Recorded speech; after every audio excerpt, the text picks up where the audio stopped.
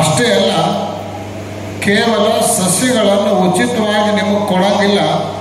ಆ ಸಸ್ಯಗಳನ್ನು ನೀವು ಯಾವ ಮಾರ್ಗದ ಮೂಲಕ ಹೋಗ್ತೀರಿ ಅನ್ನೋ ರೂಟ್ ಮ್ಯಾಪ್ ನಮಗೆ ಕೊಡ್ರಿ. ಸರ್ಕಾರದಿಂದ ನಾವೇ ಅದನ್ನು ಹಚ್ಚಿಕೊಡ್ತೀವಿ ಅನ್ನುವಂತಹ ಮಾತನ್ನು ಅವರು ಹೇಳಿ. ಆಮೇಲೆ ಮುಂದುವರೆದ ಭಾಗವಾಗಿ ಯಡೂರಕ್ಕೆ ಅವ್ರನ್ನ ನಾವು ಮೀಟಿಂಗ್ ಕರೆದ್ವಿ. ಮತ್ತು ನೀವು ಹಿಂಗೆ ಅಂದಿದ್ರಿ, ಹೆಂಗೆ ಮಾಡೋದು, ಏನು ಮಾಡೋದು? ಎಂದು ಚಾಲನೆ ಕೊಡೋದು ಏನು ಅಂತ ಹೇಳಿ. ಅವಾಗ ಅವರು ಮಳೆಗಾಲ ಮುಗಿದ ಮೇಲೆ ಹಚ್ಚಿದ್ರೆ ಚೆನ್ನಾಗಿರಂಗಿಲ್ಲ. ಮಳೆಗಾಲದ ಪ್ರಾರಂಭಕ್ಕನ ಅದನ್ನು ಹಚ್ಚಬೇಕು ಅಂತ ಹೇಳಿ ಚರ್ಚೆ ಮಾಡಿ ನಿರ್ಣಯ ಮಾಡಿದ್ವಿ. ಅವಾಗ ಅವ್ರಿಗೆ ಹೇಳಿದ್ವಿ ನಾವು, ಇದು ದಾರಿ ಎರಡೂ ಬದಿಗೆ, ಎರಡೂರಿಂದ ಶ್ರೀಶೈಲಿ ತನಕ ಲಕ್ಷಾಂತರ ಗಿಡಗಳನ್ನು ನೆಡಬೇಕು ಅನ್ನೋದು ನಮ್ಮ ಸಂಕಲ್ಪ. ಅದನ್ನ ಸರ್ಕಾರದ ವತಿಯಿಂದ ನೀವು ಮಾಡ್ತೀವಿ ಅಂತ ತಿಳ್ಕೊಂಡು ಮುಂದೆ ಬಂದಿರಿ. ಅದಕ್ಕೆ ನಮ್ಮ ವತಿಯಿಂದ ಏನು ಕೊಡಬೇಕು ನಾವು ಅಂತ ಕೇಳಿದೆವು ಅವರು.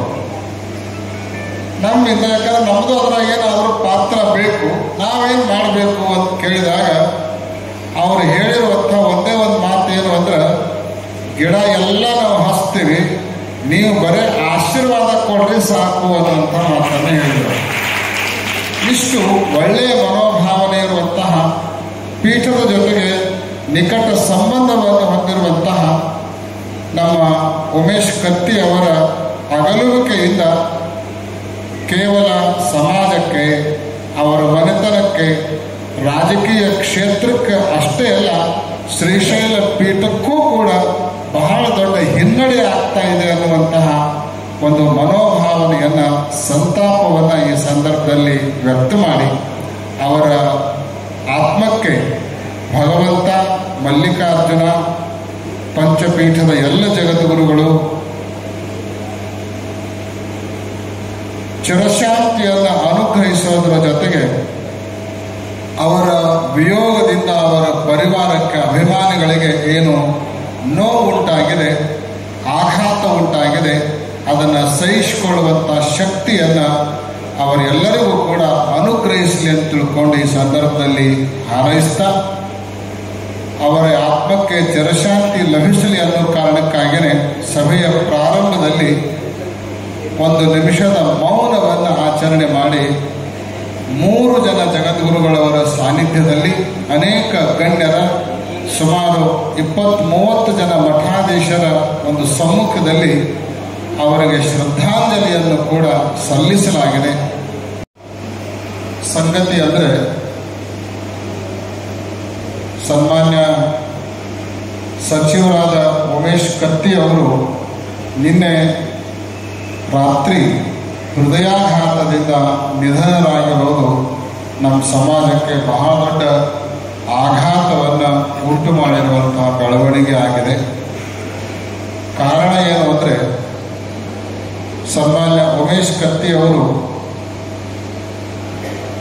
ಕೇವಲ ಒಬ್ಬ ರಾಜಕೀಯ ನಾಯಕರಾಗಿರದೆ ಧರ್ಮವಂತರು, ಸಮಾಜ ಹಿತಚಿಂತಕರು, ವಿಶೇಷವಾಗಿ ಶ್ರೀಶೈಲ ಕ್ಷೇತ್ರ ಮತ್ತು ಪೀಠದ ಜೊತೆಗೆ ನಿಕಟವಾದ ಸಂಪರ್ಕವನ್ನು ಇರಿಸಿಕೊಂಡವರು ಕೂಡ ಆಗಿದ್ದರು. ಹೇಗೆ ದಾವಣಗೆರೆ ನಗರದ ಶಾಮನೂರು ಶಿವಶಂಕರಪ್ಪನವರ ಮತ್ತು ಜಯಂ ಸಿದ್ದೇಶ್ವರ್ ಅವರ ಕುಲದೈವ ಆರಾಧ್ಯ ದೈವ ಶ್ರೀಶೈಲ ಮಲ್ಲಿಕಾರ್ಜುನನು, ಹಾಗೆ ಉಮೇಶ್ ಕತ್ತಿ ಪರಿವಾರದ ಕುಲದೈವವೂ ಕೂಡ ಶ್ರೀಶೈಲದ ಮಲ್ಲಿಕಾರ್ಜುನನೇ ಆಗಿರೋಣದರಿಂದ ಶ್ರೀಶೈಲದ ಜೊತೆಗೆ ವಿಶೇಷವಾದ ಸಂಪರ್ಕ ನೆಂಟು ಒಡನಾಟ. ವರ್ಷದಲ್ಲಿ ಎರಡರಿಂದ ಮೂರು ಸಾರಿ ಕನಿಷ್ಠ ಪಕ್ಷ ಅವರು ಶ್ರೀಶೈಲಕ್ಕೆ ಬರ್ತಾ ಇದ್ರು. ಬಂದಾಗೆಲ್ಲ ಜಗದ್ಗುರುಗಳವರನ್ನ ಸಂದರ್ಶಿಸುವಂತಹ, ದರ್ಶನ ಪಡೆದುಕೊಳ್ಳುವಂತಹ ಅಭ್ಯಾಸ, ಪರಿಪಾಠವನ್ನು ಇರಿಸಿಕೊಂಡವರಾಗಿದ್ದರು ಅಷ್ಟೇ ಅಲ್ಲ, ಮುಂದುವರಿದ ಭಾಗವಾಗಿ ಪಾದಯಾತ್ರೆ ದಾರಿಯುದ್ದಕ್ಕೂ ಎರಡೂ ಬದಿಗೆ ನಾವು ವೃಕ್ಷಗಳನ್ನು